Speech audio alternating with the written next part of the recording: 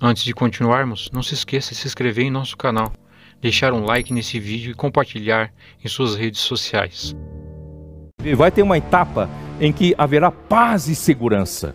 Quando todos falam, opa, agora sim, esse homem finalmente chegou. Né? Nós, nós vivemos em um mundo muito conturbado. Nós não vemos ainda nenhum nenhum estadista da nossa época, nenhum grande político, um grande líder mundial que fosse capaz que realmente né, uh, tranquilizar o mundo todo, o mercado, né, tranquilizar politicamente, economicamente, para todo mundo viver em paz, um país com outro. Mas não, muitas disputas, lutas, cada um para si, né, e não. E de repente surge um homem muito esperto, muito sagaz, ele vai colocar paz e promessas de paz. E quando o homem pensa, finalmente surgiu esse grande homem que nos trouxe paz e segurança, eis que virá a repentina destruição. Ele não faz aliança com ninguém. Lembre-se que ele é o Leviatã não faz pacto com ninguém. Quanto a mais sede fortalecidos no Senhor e na força do seu poder. Revesti-vos e toda a armadura de Deus para poderes ficar firmes contra as ciladas do diabo. Ele tem ciladas, as suas estratégias são cheias de ciladas. Porque a nossa luta não é contra a carne e a, contra o sangue e a carne. Se você está bravo com seu cônjuge, a, sua luta, o seu, seu alvo de luta não é contra seu cônjuge. Né? É alguém que provoca tudo isso. Porque a nossa luta não é contra a carne, não é contra sangue, sim contra os principados e potestades,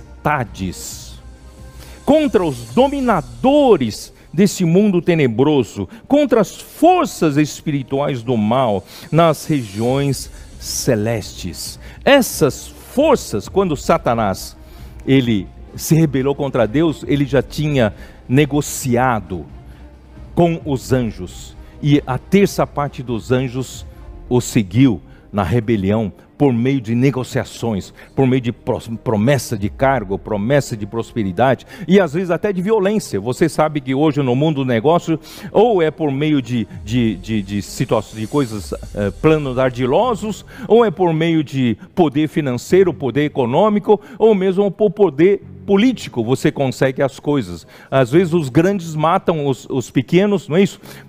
Tudo isso porque com essa brutalidade né, é comum no meio dos negócios. Mas esse, eh, esse Satanás, na sua rebelião, ele conseguiu ganhar esse, essa terça parte dos anjos, e você sabe que esses anjos são principados e potestades, que são as autoridades.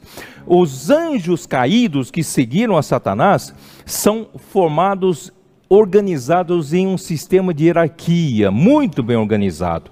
Não pense que o reino de Satanás é desorganizado, não é muito bem organizado. Tem os grandes generais, tem os tenentes e assim por diante, tem uma hierarquia. Eles são principados, potestades, eles são bem organizados, obedecem à ordem de Satanás, não é isso? Então, essas são as forças espirituais do mal são os dominadores desse mundo tenebroso, trevoso, de trevas. E, pasmem, eles têm os soldados. É? Nunca falamos sobre isso, claramente, mas eu quero dizer para vocês: quando em Ezequiel 28 fala do, dos, das nações, e ele, ele ele negociava por toda a terra, mas naquele tempo, na terra, não, Adão ainda não tinha sido criado. Então era uma raça pré-adâmica, uma raça antes de eu criar Adão, ali já havia as nações, havia criaturas, certo? Eu, eu não, não ouso adivinhar exatamente como são, mas são seres que possuem espírito, né? mas uh, uh, que seguiram a Satanás aqui na terra também nessa rebelião.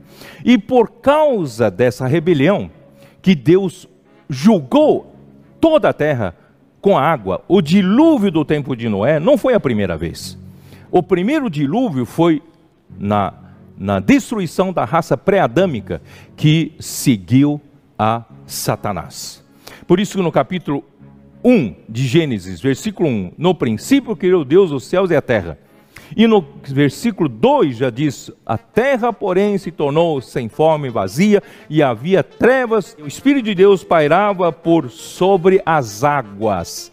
Então a terra naquele tempo estava coberta de águas. Por quê? Deus exterminou essa raça adâmica, essa raça pré-adâmica, né? Exterminou. E essas criaturas são criaturas que possuem espírito.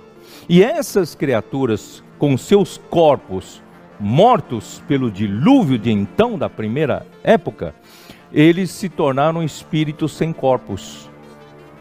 Quando o espírito imundo sai do homem, anda por lugares áridos procurando repouso, porém não encontra. O espírito imundo é o espírito desses da raça pré-adâmica que foi julgada por Deus naquela época. Eles estão sem corpos, eles procuram corpos para tomar posse, tá?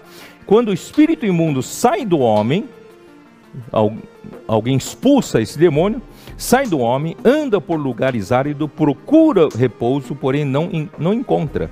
Por isso diz: Voltarei para minha casa de onde saí, eu vou tomar posse de novo naquela, naquele corpo. E tendo voltado, a encontra vazia. Se você logo não enche com o Senhor, enche com Deus, enche, você a mente continua vazia, seu coração continua vazio, pronto, ele toma posse de novo, né? E varrida e ornamentada. Então vai e leva consigo ainda outros sete espíritos, piores do que ele. E entrando, habitam ali, e o último estado daquele homem torna-se pior do que o primeiro. Assim também acontecerá a esta geração perversa. Portanto, aqui mostra um outro ser espiritual que não são os anjos caídos, mas são chamados os demônios. Tendo ele chegado à outra margem, a terra dos Gadarenos, vieram-lhe ao encontro dois endemoniados saindo dentre os sepulcros e a tal ponto furiosos que ninguém podia passar por aquele caminho. Então, dois que, que eram possuídos de demônio. E eis que gritaram: Que temos nós contigo, ó Filho de Deus? Viesse aqui atormentar-nos antes do tempo, porque eles sabem que eles vão ser julgados ainda no final dos tempos.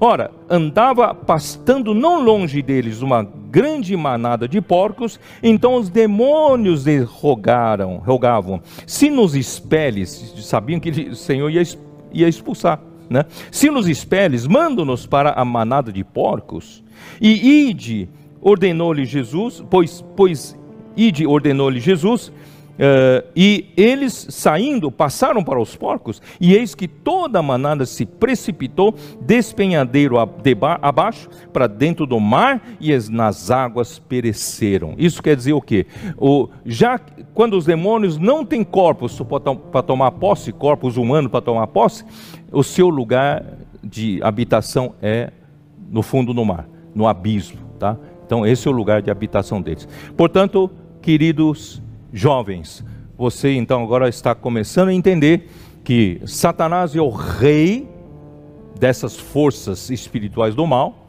Os anjos caídos são os principados de potestades, são os que têm, mantêm os patentes né, as patentes altas, né?